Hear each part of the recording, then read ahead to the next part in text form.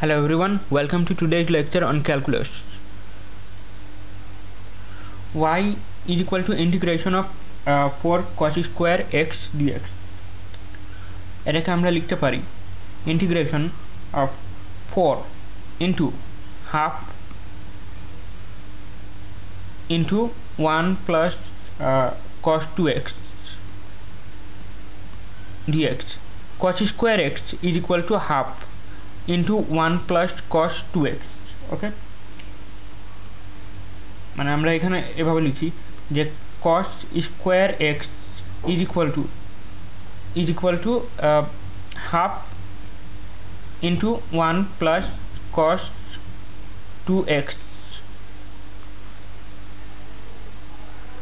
trigonometric identity. Trigonometric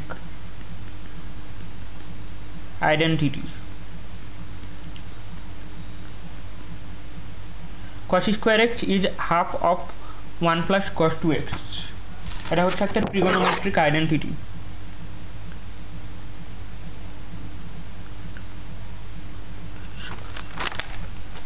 তো এখন আমরা এটা লিখি যে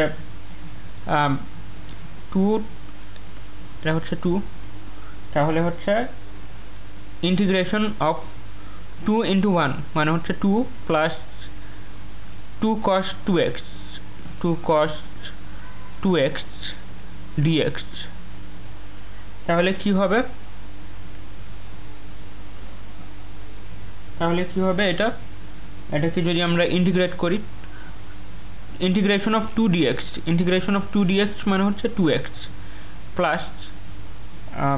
two cos two এক্সকে যদি আমরা ইন্টিগ্রেট করি, তাহলে আসবে হচ্ছে two sine two x by এক্সের কোএফিসিয়েন্ট এক্সের কোএফিসিয়েন্ট হচ্ছে টু প্লাস হচ্ছে সি এটা এটা ক্যান্সেল তাহলে কত থাকবে? টু এক্স প্লাস হচ্ছে সাইন টু এক্স প্লাস হচ্ছে C okay y is uh, y is equal to dy by dx হচ্ছে sin 2x plus 1 তাহলে y কত হবে y is equal to integration of integration of sin 2x plus 1 dx তাহলে sin 2x plus 1 এটাকে যদি integrate করি তাহলে আসবে হচ্ছে আমার minus cos 2x plus 1 divided by x এর কোএফিসিয়েন্ট হচ্ছে 2 plus C thank you everyone that is all for today